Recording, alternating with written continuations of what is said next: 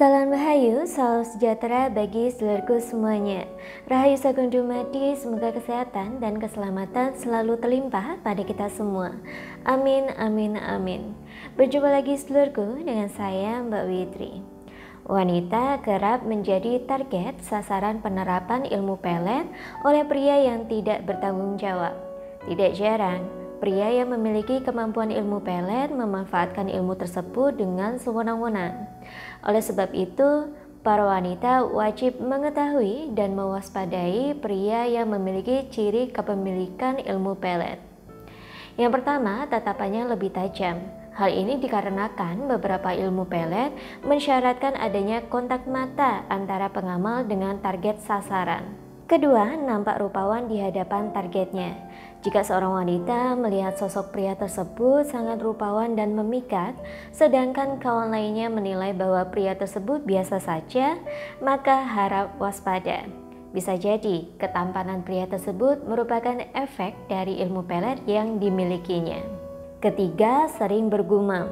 Seorang pria yang sering bergumam dengan sikap misterius bisa saja sedang membaca dan mengamalkan mantranya. Keempat, menyimpan barang khusus. Apabila memiliki teman pria atau kenalan yang menyimpan barang khusus dan dia marah jika barang tersebut disentuh, itu salah satu ciri yang menyukai ilmu gaib, termasuk bisa jadi ilmu pelet. Kelima, banyak pantangan. Ada potensi pria yang memiliki pantangan adalah sedang melakukan perjalanan ritual untuk keampuhan ilmu pelet yang dimilikinya. Keenam, sering gonta-ganti pasangan. Seorang pria playboy namun dia tidak tampan dan kaya patut dicurigai memiliki ilmu pelet. Sebab banyak orang menilai bahwa tidak ada modal realistis pria semacam ini berganti-ganti pasangan dan mudah jika tidak memiliki ilmu pelet yang ampuh. Ketujuh, sering melakukan ritual tertentu.